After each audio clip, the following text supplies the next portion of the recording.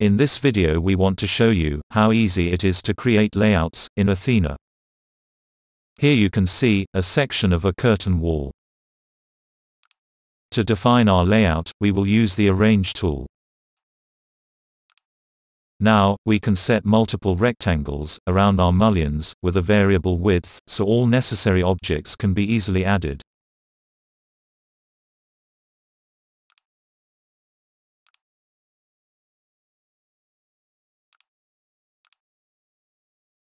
In the next step, we just place the group of our detailed sections in the layout.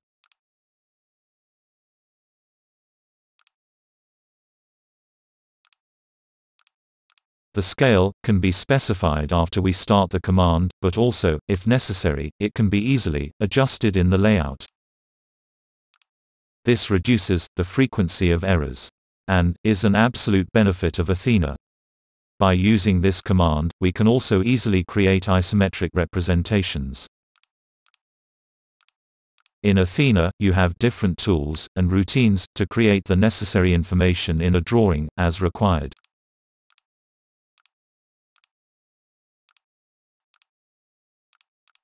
But what happens, if we move, the viewport in the model?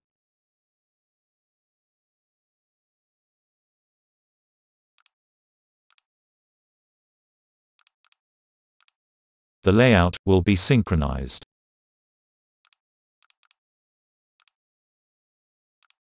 We can also use this command several times, for the same detail. If we need it on different sheets, or in different scales.